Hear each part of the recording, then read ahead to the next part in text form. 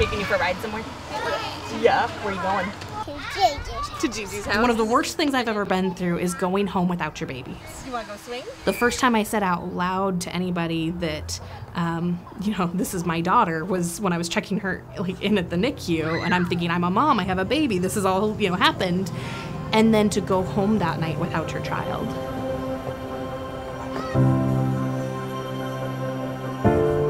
She was diagnosed with hypoxic ischemic encephalopathy, which is HIE, which means that at some point during pregnancy, labor, or delivery, her oxygen was cut off to her brain. Coming down. We had no idea. Would she ever walk? Would she ever speak? Would she be able to feed herself? We really had no idea at that point. And we've been extremely fortunate with how relatively minimal her her impacts have been from this in the long run.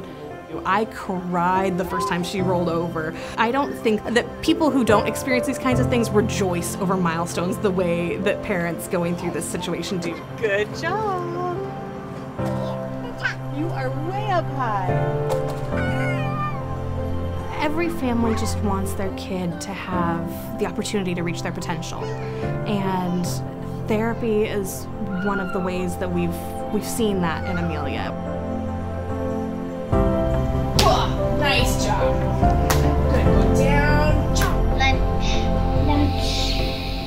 The staff at Youthful Horizons was really, really encouraging that we should apply for a grant with Elevations. We received a grant um, probably pretty early when Amelia was in her speech therapy, so when she was two or three years old, and the following year they told us to apply again.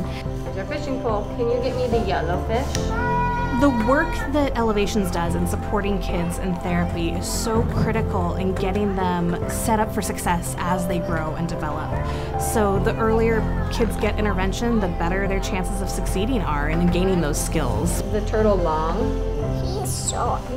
If Amelia had not started speech therapy, I think she would still be really lagging behind kids her age. She has the confidence and the skills she needs to reasonably keep up with, with other kids and to play and to not feel held back. And there's still areas that we're working on, uh, but I think without therapy and all the extra help that she's had from that, I think she would be in a very different position currently. Hold on tight. Yeah. Okay. And as a parent, you just want your kid to have every opportunity to succeed and reach their potential and all of those things. So, giving her the confidence and the skills through therapy has been really, really good for her.